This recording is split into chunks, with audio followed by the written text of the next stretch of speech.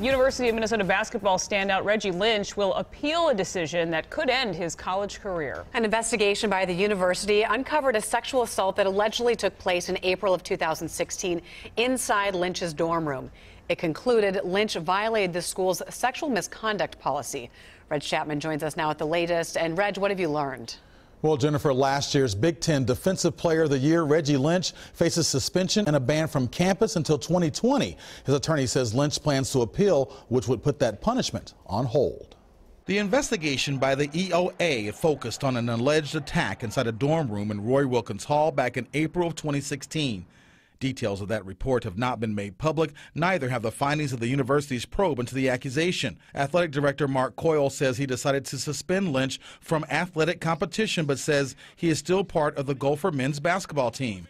Although Coyle says he cannot get into specifics about this investigation, he believes the department handled the process well. And since I got here in June of 2016, we've talked very hard about we want to make sure that we are defined by our actions by having great humility and by representing this institution in a first class manner.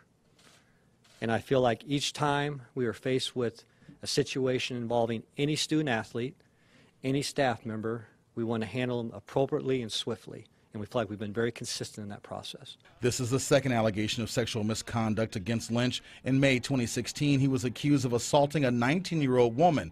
He was arrested and held in the Hennepin County Jail for 36 hours. He was released after the county attorney declined to press charges. In all the stories we've had over the last couple years with Gopher Athletics, clearly there's a problem that needs to be addressed. Um, and I wish that there was more of a commitment uh, to those steps being taken. Abby Honold is an advocate for victims of sexual assault. She believes educating players and coaches about sexual misconduct is not enough. It provides you with the tools you need to go out into the world as a better person.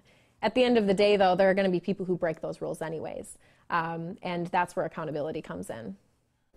Now, Lynch will be allowed to practice with the team as he goes through an appeal process that could take weeks or months to complete, Jennifer. All right, we'll be watching. Thank you, Reg.